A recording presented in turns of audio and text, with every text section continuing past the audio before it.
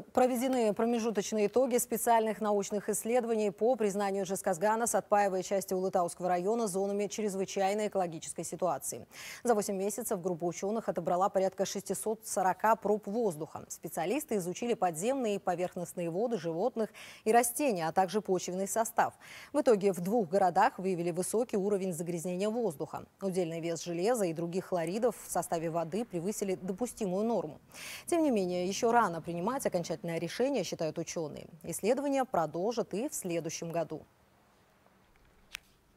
По территории города Сатпаев и Жесказган есть, ну, нами фиксируется превышение там, по сероводороду, по диоксиду азота, по диоксиду серы. Мы оцениваем ситуацию в данный момент как неблагоприятная, но это предварительная оценка. В следующем году, э, когда мы получим весь массив данных, мы дадим окончательное заключение по этому вопросу.